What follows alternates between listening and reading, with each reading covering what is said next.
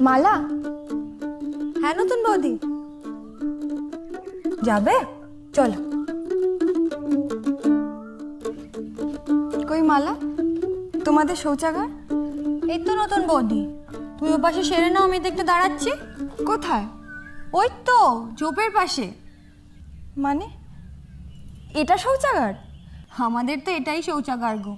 প্রথম প্রথম তোমার একটু লজ্জা করবে ঠিকই তারপরে অভ্যেস হয়ে যাবে। কি হলো? কি হলোটা কি? কি হলো মানে? ওটা শৌচাগার হলো? আমাদের তো ওটাই চলে। দেখো যে পুরুষ নিজের স্ত্রীর সম্মান রক্ষা করতে পারে না তার স্বামী হবার কোনো যোগ্যতাই নেই।